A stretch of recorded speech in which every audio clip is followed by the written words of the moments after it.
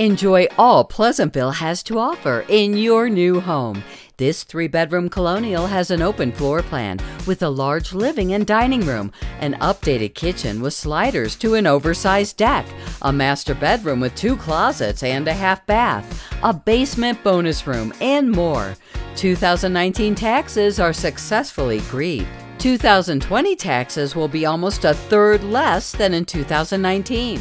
Call Loretta Fleming Chiavetta today for a private showing.